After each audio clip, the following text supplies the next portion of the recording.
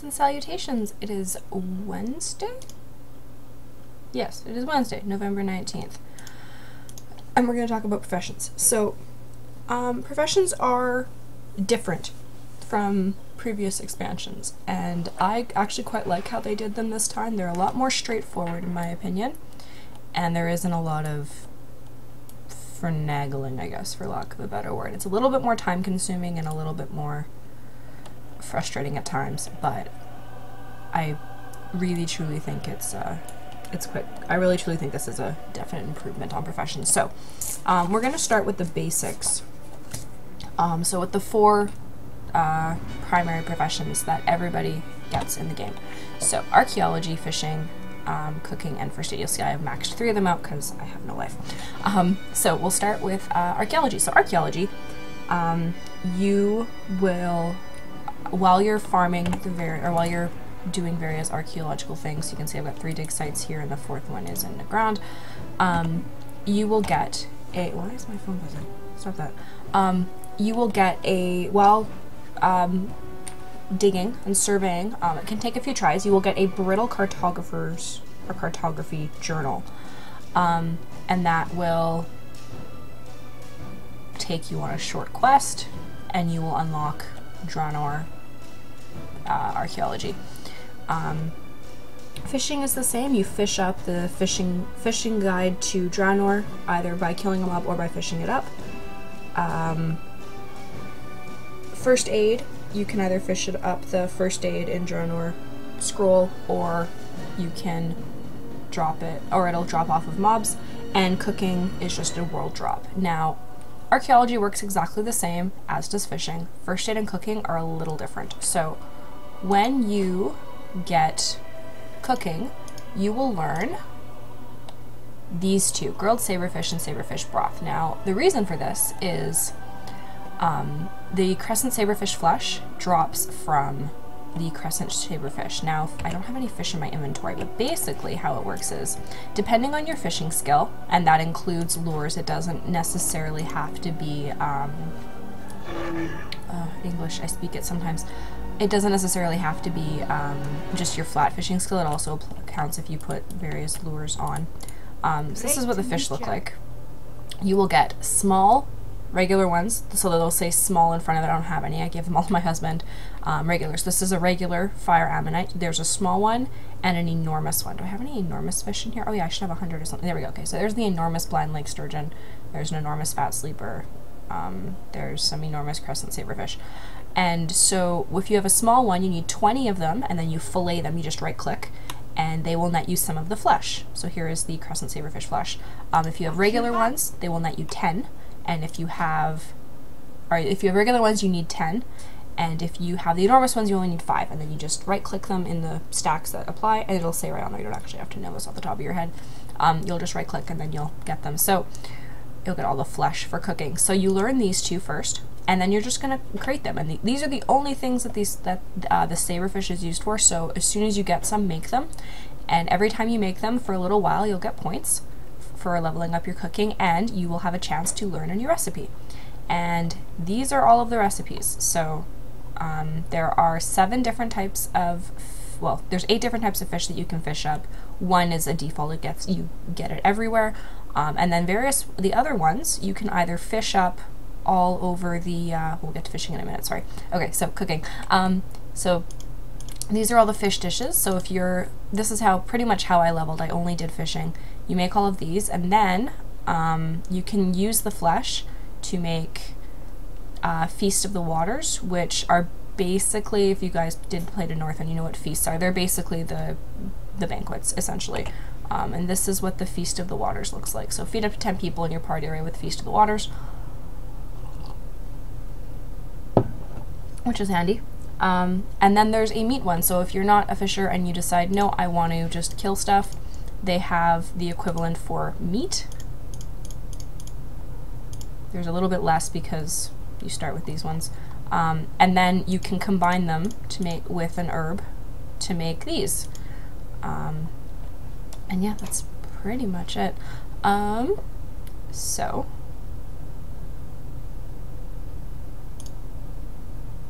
Anyway. Um, yeah, sorry, I'm still waking up. I was up at 5 this morning. This is kind of ridiculous. So that's how cooking works. Um, and then also, every time you cook, you have a chance to get little leftovers. All you, it's just, it's a random uh, pop, for lack of a better word. Um, it's a random thing that can happen while you're cooking. I haven't gotten him yet, as you can tell, but he's, it's in reference to a comic uh, that was made oh geez, a long time ago. I don't even remember what the comic was, but it's a really funny WoW comic that this woman does. That's really, really good. Anyway, so that's how cooking works. Now, fishing um, works just like fishing. That's not any different. First aid is a little bit different. So when you find first aid and you learn it, you learn these four. Now, you can make your own healing potions now. You don't need to be an alchemist. So you can see I have a whole bunch of those. Um, you can make this fire ammonite oil. And these are all from fishing. This one requires some fur and the sea scorpions. And these are the bandages. Um, so then you have the anti-venom, which cures poisons. Um, and then the fire ammonite oil cures diseases. And then the healing tonic restores health. So that's basically what first aid is. Um, I would recommend just farming sea scorpions and just making this one because this one will stay as a plus 5 to skill until you hit 700. Now the only thing I want to add about fishing is, oh geez, how would I go the right way? You will get lures, and this is pretty important. So you can see here I have all of these. This is one for each type of fish that is not the default uh, crescent, saber flesh, whatever, saber crescent fish, whatever it's called, I don't remember. Um, and these are awesome because these mean you can farm anywhere. Now, the you can if you don't want to leave Shadowmoon, but you want to get the say the fire ammonite bait, um, you can just click this and get it. Now, the only you can't you can fish most stuff in this pond. You cannot really get enormous um, until you have a level three fishing shack, which you need to catch enormous fish. So really, sometimes you're just you're better off getting the fire. You're better off going to the area, but you should be able to select this and fish elsewhere. I'm still kind of testing that theory, but essentially that's how it works. So those are the basic ones. Let's go on to gathering professions. So those are also pretty straightforward. Um, mining, herbalism, and skinning, you get them from doing what those professions require. So when you pick up flowers, you'll get a compendium of the herbs of Draenor. When you mine, you will find a trustee that cannot be the right word. I'm re-looking this up. No, it is the right word. Okay. A Treatise on mining in Draenor. And for skinning, um, you can either get it from skinning or just it'll come as a drop from mobs, a guide to skinning in Draenor. And you will, again, go on a short little quest. And then tally ho. Um, the only thing I will add to that is these are the only way to get for the secondary professions and the gathering professions, these are the only way to get these scrolls. Um, the, sec the other secondary professions, the non-gathering ones, um, you can buy if you don't want to try and find them. They cost 100 gold from your vendors your profession vendor. So if you have enchanting, go to your enchanting trainer and there's a vendor right beside them. Blacksmithing, jewel, jewel crafting, everything like that is the same. They are 100 gold from your vendors in Warspear or in Stormshield, depending if you are Horde or Alliance. Um, now these ones, you will loot items from Actually, I lied, I'm sorry. Um, the secondary professions and the gathering professions, you don't actually have to go on a quest. So it's the crafting ones. I am so tired, I am so sorry. Okay, so um, let's talk briefly about these ones. So, um, all of them work the same. You just loot a different item. You will do a short quest, and then you will learn three ish thing. Well, no, you'll learn more than that, but you'll learn the three. The you'll learn your reagents and research, and then you'll learn a couple of very basic ones. Um, so you can see I don't have them all, but I have a few. So every day you're going to have a few things that have daily cooldowns. So these are the secrets of Draenor Enchanting. And uh, once a day, you make one of these, and you get a book. And these books allow you, now you can do this either at your enchanting vendor again, or you can do this if you um, if you have their if you have the building, the professions building in your garrison, you can buy them. So you can see I have this is tailoring. Um, so you can see I, I can buy recipes, and this is how you get recipes now. Um, you have to make this item, essentially. So let's, uh, so I can learn an enchanting one. I don't actually have an enchanting person here, I just have my tailoring one because I can make stuff with tailoring and then disenchant it. Um, but in tailoring, what can I make? Oh good, I can make one of you. Okay, and that gets me a book, so I will buy it. No, go away. For the Alliance. And we're gonna learn it. So you can see a lot of the uh, stuff for tailoring, I don't know if it's true for the other ones, um, require ore, um, these require potions, etc. And they require quite a bit of cloth, like this, these ones all require 100 cloth, but I have work orders, like I just made four cloth right there. And you can make one a day. Like, or I can make, oh no, it produces four, and if your tailoring skill is higher, you can make more than that. So there is that. Um, but yeah, that's pretty much it. So I'll just go over what the items are that you're going to get. Now you can get them two ways. They can drop off of mobs, or there is a quest you will do in your chain in your starting area, Horde and Frostfire Ridge, Alliance and Shadowmoon Valley.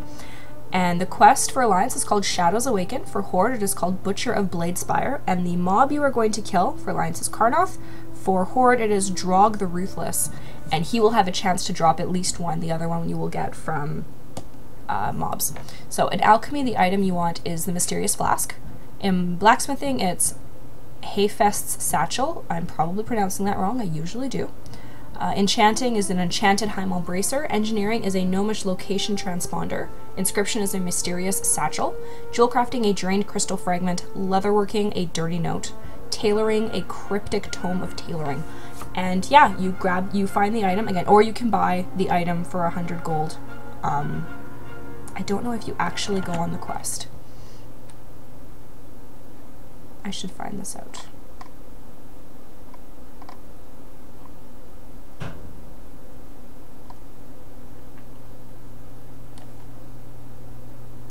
Let's find out.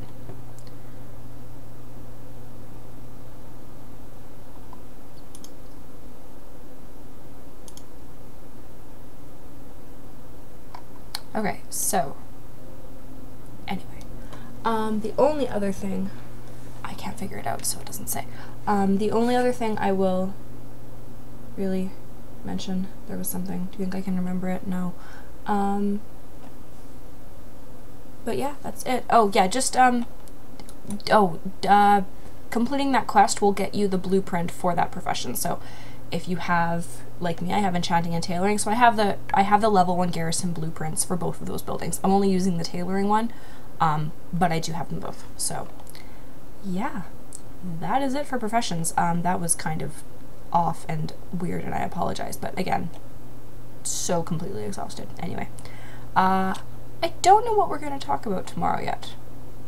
So if you have any suggestions as to things you want to know about warlords, let me know. Otherwise, yeah, I'll just figure something out. Anyway, thank you for watching. Like and subscribe if you feel so inclined. Have a beautiful day.